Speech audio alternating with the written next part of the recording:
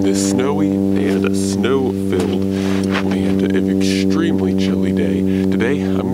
responding to a tag that I got tagged by Jeff's Outdoor Adventures. And I'm going to be tagging a few people at the end of this video. But the tag basically consists of what is my bushcrafting or outdoors camping kind of cook kit. And today I'm going to be going over my entire cook kit and talking about the different pieces I use.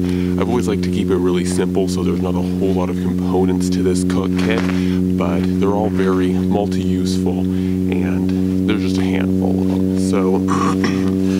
start off, I'm going to be going smallest to largest. And starting off with the first one is this little pot. And this is an Überleben Kessel pot, and it's a stainless steel 1.1 liter pot. I unfortunately have to remove a mitten to get this thing out of here. But this is what the pot looks like. And this is what the pot looks like and overall it is pretty impressive. I was not, I was kind of optimistic of how this whole weird looking handle, so as aircraft like to get in the way of this. Anyways, so it allows you to easily hang this on stuff over a fire. It also allows you to easily pour stuff because this does have a spout. It has a strainer type of spout. So it allows you to pour teas and different things I like to make while out there in the woods. It allows me to do that and easily pour. And I also, what I like about this pot though is unlike most that have handles, uh, this handle is pretty easily removable. I say as I struggle to get it off in the winter. But um, this pot handle is actually pretty easily removable. So all you do is just take the screw off and then the handle can just pop right off.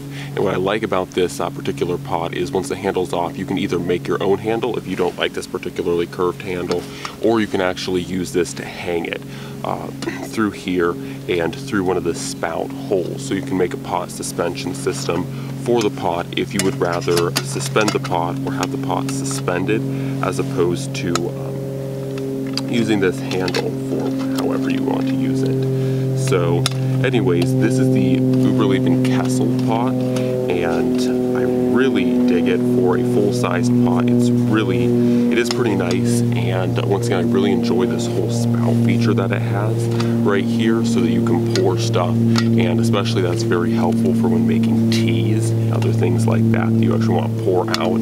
But it's also still big enough, you guys can see it's a 1.1 liter pot so it's also big enough if you want to make any smaller meals with it it is definitely a capable uh, system of doing that. And so this is not, of course, a review on this thing because I don't have quite enough dirt time on this for a full-on review, but just a short explanation of why I like it and why I carry it. And of course, it comes in this little pouch here, this little canvas pouch. So that's also pretty handy and pretty nice. And as I struggle to get it in here. So that is the Kessel pot. And now moving on to the next one that luckily I can wear my mittens for.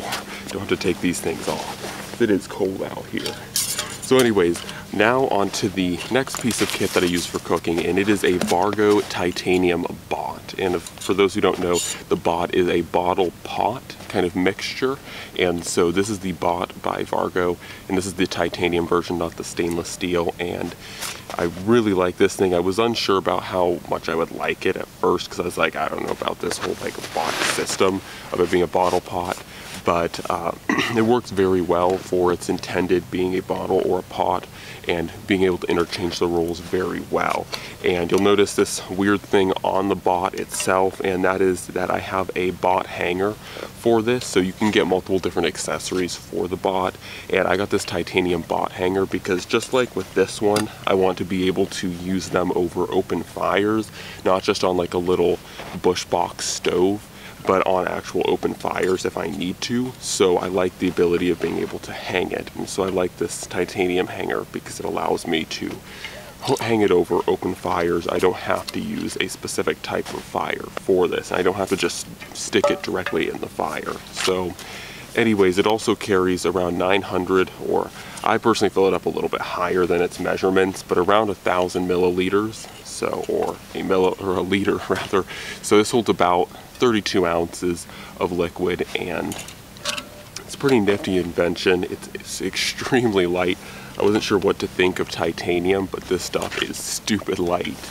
Anyways, now on to the last bit of actual cooking gear that I carry specifically, and that is my stainless steel Nalgene. And this is also another boil friendly. All of these, you know, you can throw right in the fire and it doesn't matter, or you can put them, expose them to open flames. They can boil your stuff. And yeah, so this is basically the smallest kind of container I use for cooking smaller things, rather just doing like teas, coffees, and the smaller likes. So next to that, and the real, the one real um, fire system I do carry, just in case I need to carry it, or for whatever reason, if I do need it, these things fall in the snow too. Um, but uh, the one thing I do carry for a stove is my Bushbox folding, large folding, or this is the Bushcraft Essentials Bush, Bush Box LF or large folding. And this box is large enough to actually put this inside of it and it's large enough to hold both the other bot and the pot there so it's a very capable pretty big stove and it works very well for heating up all the different cooking implements I tend to carry. It's also very rugged and what I like about this system too is I'm not going to break this open and show you because it's just too cold out for that but what I like about this one is hopefully you guys can see here that there's actual little uh, slits cut in the sides of this bush box that you can stick these through.